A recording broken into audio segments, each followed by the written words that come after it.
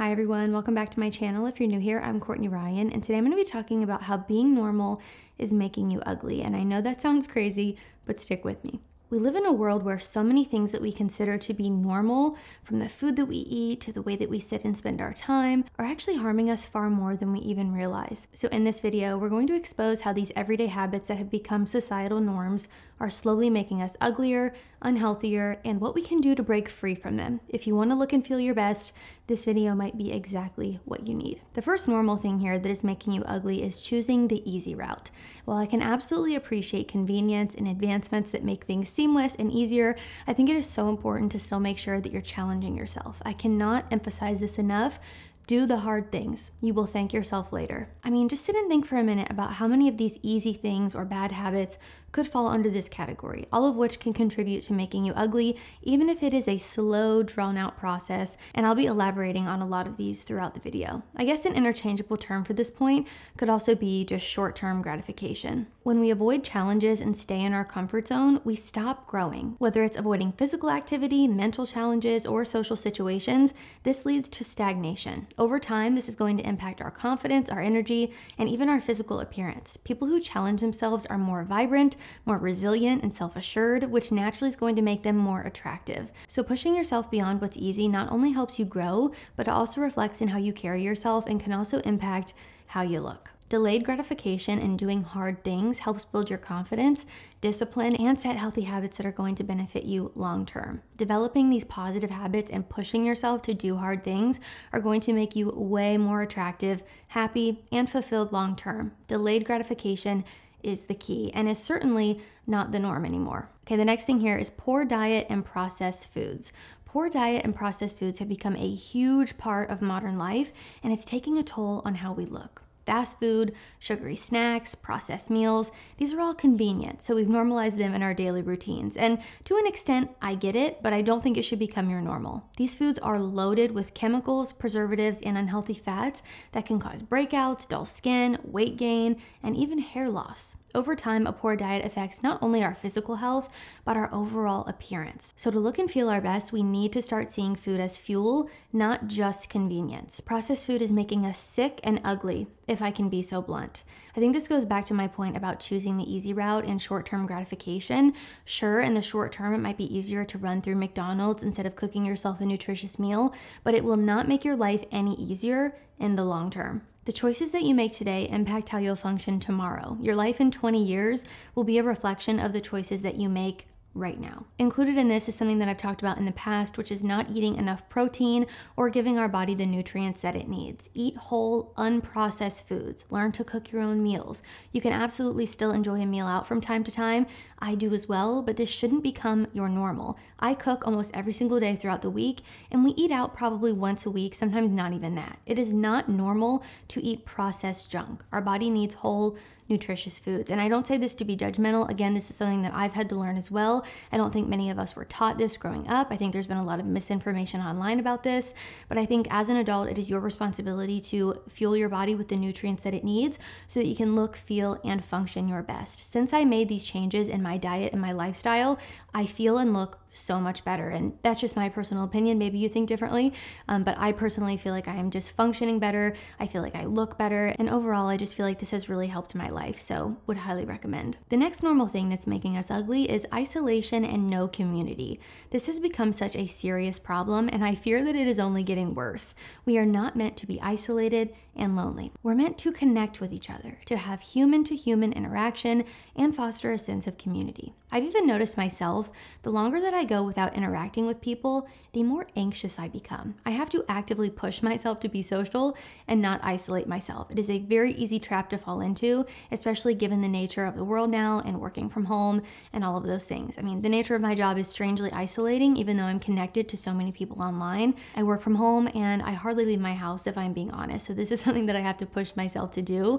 And I know firsthand that this has an extremely negative impact on communication and conversation skills for me and for a lot of at other people. Now, you're probably thinking, well, how is that making me unattractive or unhealthy? When we spend too much time alone, it can take a toll on our mental health, which eventually shows up physically. Chronic loneliness increases stress and anxiety, which can lead to breakouts, dark circles under your eyes, and even premature aging. Plus, isolation can lower our motivation to take care of ourselves, whether that's exercising, grooming, or just maintaining a sort of healthy routine. Even sometimes for myself, if I know I don't have to film content, interact with anybody, or leave my house, I stay in my pajamas the entire day, or I did in the past, and this was not good for my mental health. So, even on the days where I stay home now and I know that I'm not leaving, I always make an effort to get ready, to shower, to do my hair and makeup, um, even if it's just a little bit, put a different outfit on rather than staying in my pajamas all day. I mean, this seriously has such a negative impact. And I've noticed that when I get ready and I push myself to leave my house and interact with people,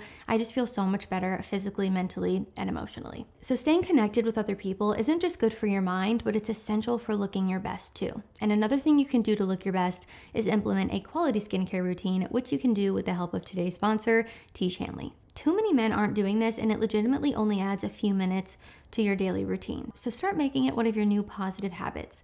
Tiege Hanley simplifies the process. They provide you with all the products you need and nothing that you don't. I recommend you start with their level one system, which comes with all of the basics a daily face wash, an exfoliating scrub, an AM moisturizer with SPF 20, and a PM moisturizer. Now, this isn't something that you want to put off because prevention is key. Your future self with skin that looks better than every other guy who didn't take my advice will be thankful. Tiege wants to make it a no brainer for you to get started on your skincare journey. And because Tiege is sponsoring this video, they're offering you an amazing deal. Just click the first link down in the description to get 40% off of your first skincare system and a free gift. Plus, as a member, you'll also get 20% off for life. One of their newer gift options is the silicone body scrubber. I use one of these instead of a loofah, and it is so much better. So click the first link in the description and get started on your skincare journey today. The next normal thing that is making us ugly is engaging in toxic relationships or being the toxic one in a relationship. Of course, this applies with romantic relationships, but also with platonic relationships as well, whether it be with family,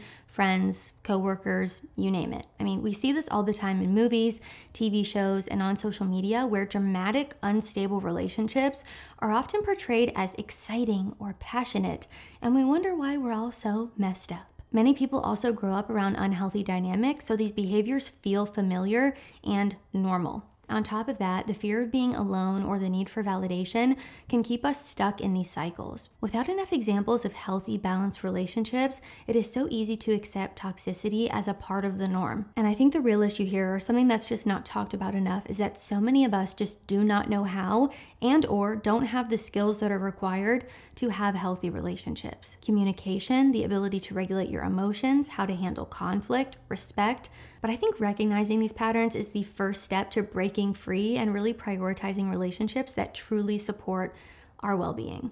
This constant emotional stress from unhealthy relationships takes a huge toll on your mental and physical health. Chronic stress can lead to breakouts, weight fluctuations, poor sleep, and even premature aging. But beyond the physical, being in toxic relationships absolutely drains your energy and your self esteem, which is going to affect the way that you carry yourself, how you interact with others, and how others perceive you. Healthy relationships, on the other hand, help you thrive and reflects a confidence that naturally is going to enhance your attractiveness. It's going to make you feel better, obviously, but also look a heck of a lot better too. The next thing on my list here is a sedentary lifestyle. Now, a sedentary lifestyle has become the norm in our society, especially with the rise of technology and remote work, as I mentioned earlier in the video. We often find ourselves glued to screens for long hours, whether it's at the office working, binge watching shows, scrolling through social media. This lifestyle is not just making us less attractive, it is detrimental to our health as well. Think about it. Long periods of sitting can lead to poor posture, which can affect your confidence and how you carry yourself. It can also slow down your metabolism, making it much easier to gain weight, which can lead to a lack of energy and vitality and not make you look as good, obviously. Beyond the physical, the effects of a sedentary lifestyle can impact our mental health tremendously. Lack of movement is linked to increased anxiety and depression, making us feel a lot less motivated and engaged within our lives. When we aren't challenging ourselves physically, we miss out on the endorphins that come from exercise which are crucial for maintaining a positive mood. And that's because exercise often helps reduce cortisol, the stress hormone. So, to break this sedentary lifestyle, consider starting by incorporating maybe some small, manageable changes into your day, maybe standing while working, taking a short walk break, or even doing a quick workout at home. Sometimes while I'm sitting on my couch working, I'll just get up and do like 10 squats or something just to keep my body moving and my blood flowing. These super simple adjustments can enhance not only your physical appearance, but also your overall well being. If I am ever in a funk, some sort of movement always helps me. There has not been a time that working out made me feel worse. So, work out, go to the gym, go take a fitness class, go for a run or a walk, whatever is best for you. But please, guys, make this a priority. If I can do it, so can you. We can help hold each other accountable here. And do not underestimate the power of a walk. If you are sad, go for a walk. If you're stressed, walk. If you're angry, walk. If you're overwhelmed, walk. A walk always makes me feel better. So, get to walking. Okay, the next normal thing that is making us ugly is alcohol, one of my favorite things to talk about. Now, I don't drink alcohol, and it is one of the best, if not the best, choice that I make for my health and my well being. I don't share this to act all holier than thou, but more so to be a positive influence and help anyone out there who might feel isolated and alone in their sober lifestyle or someone who's thinking about quitting. Alcohol has become deeply ingrained in our society, whether it's through social drinking, casual nights out, or even as a way to unwind after a long day. However, I think it is so important to consider the potential consequences of regular alcohol consumption. Alcohol can dehydrate your skin, resulting in dryness, dullness, and premature wrinkles while also disrupting your sleep quality, which doesn't lead to anything good. It leads to dark circles, fatigue, and just overall feeling like garbage. But beyond the surface, alcohol poses significant health risks. It increases inflammation, which can lead to breakouts and can also impair liver function, causing toxins to build up in the body. Over time, regular drinking can also impact weight, weaken the immune system, and accelerate the aging process, as I mentioned before. So, all that to say, alcohol is not harmless, and its effects can be detrimental to both your health and your appearance. Additionally, here, the impact of alcohol on mental health is noteworthy. Regular consumption can elevate your anxiety levels, disrupt your mood, and foster a reliance on alcohol as a coping mechanism for stress, which is not good. Over time, this reliance might contribute to more serious mental health issues like depression by interfering with the brain's natural chemical balance. Alcohol can also affect our ability to process emotions, cope with challenges, and maintain healthy relationships, making it so much harder to manage stress and remain mentally resilient. These mental health challenges can significantly influence overall well being and quality of life. So, again, all that to say, it is essential to recognize the physical and mental impacts of alcohol consumption. By understanding how it affects our bodies and minds, we can make more informed choices about our drinking habits. I encourage you all to reflect on your relationship with alcohol and really consider how it aligns with your goals for physical appearance and also your mental health. My goal in sharing this is that we can create a culture that values health and well being over societal norms surrounding alcohol. Another habit that can quietly impact your appearance is staying indoors and avoiding sunlight and nature. Natural light is essential for vitamin D production, which plays a key role in maintaining healthy skin, healthy hair, and bones. Plus, fresh air and time in nature can reduce your stress and improve your mood, both of which directly influence how you look. Staying cooped up inside, especially under artificial light, I say that as I'm filming in front of two artificial lights, can make your skin look dull, contribute to poor posture, and even drain your energy, all of which are going to affect your attractiveness. So, getting outside isn't just good for your health, it's essential for your overall glow and vitality. Now, you absolutely want to protect your skin from the sun because too much sun exposure can be harmful and cause issues. However, sunlight is such an important part of wellness that you'll want to make sure that you're implementing. So, my typical recommendation of getting outside and touching some grass still remains. You're not a cockroach that lives in a dark, spooky basement, so get outside and let Mother Nature work her healing power, including reduce stress and anxiety, mindfulness and relaxation, reduced inflammation, improved cardiovascular health, improved sleep. The list truly does go on. Which leads me into my next point here, which is a lack of sleep. They call it beauty sleep for a reason. A lack of sleep and staying up late have become so normalized, especially with hustle culture glorifying the grind over resting or staying up until 2 a.m. doom scrolling on TikTok. I'm looking at you. But here's the truth sacrificing sleep is making us less attractive. When we skip out on rest, we see dark circles, dull skin, and even early signs of aging, as many other things in this video have also contributed to as well. Sleep is when our body repairs and rejuvenates itself, producing collagen that's going to keep your skin firm and healthy. It's also when our brain detoxes, improving mental clarity and reducing stress, both of which directly affect how we look.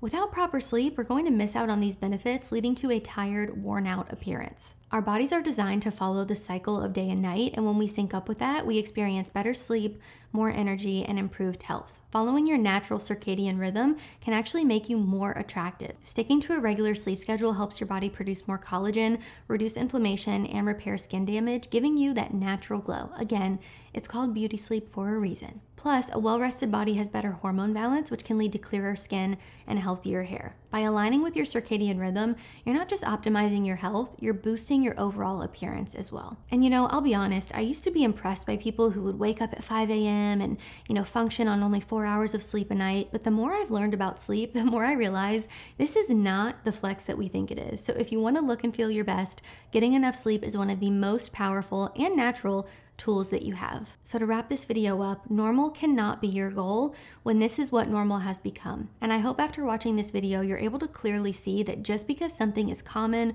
or normal doesn't mean that it's good for you or that you should be doing it or striving for it. Normal has become unhealthy, low energy, angry, stressed, and overall unhappy. I don't want that for any of you, and I want you to see that you have the complete power to be great, to be healthy, full of energy, content, and thriving. So I hope you all found this video helpful. If you did, be sure to give it a thumbs up and subscribe to my channel to be in the loop for when I release new content. If you haven't already, be sure to follow me over on Instagram at Courtney Cristine Ryan. I love connecting with all of you guys over on there as well. I would also love to hear from you guys down in the comments. Do you do anything on this list? What are some healthy habits that you've started to implement that maybe go against the societal norms? I am very into health, wellness, longevity, anti-aging, and if you'd want me to make more videos about this, I would be happy to do so. It's honestly how I spend most of my free time when I'm not working on my YouTube channel. I feel like I've learned so much. I've done a ton of research, um, and it's something that I feel very passionate about. So if you'd want to see more content like this, please let me know. And while you're in the comments, let me know what other topics that you'd like me to cover. As always, thank you all so much for watching, and I will see you all next time.